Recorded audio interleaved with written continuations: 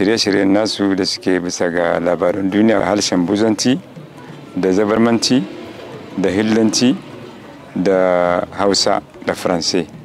Lalle muna jin daɗin wannan shirin nasu kamar abin da ya shahi harkar noma da abin da ya shigo ƙasa da abin da yake fita suna lura suna dibawa.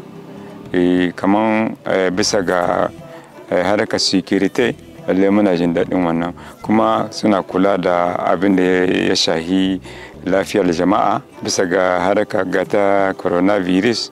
Suna kawo tallafinsu ga talakawa inda dai kalangu ba ta kai ba wuri kalilan ne. Amma sannu sannu ba ta hana zuwa. Allah da ko ina za ta kai kayanta inda za ta gudanar da ayyukanta. Kamar gunduma kamar a balak mai kumanda akwai hilani akwai matsala ta makiyaya da manoma. Akwai kuma bandi wani bi suke shigo muna ta reshen kote ɗin shadonka da tabbotake da kulki da jini. Ba mu da wanda zai ba mu rahoto bisa ga abin da ya kamata. Sai an ɗauki magana daga abala a kai ta tawa.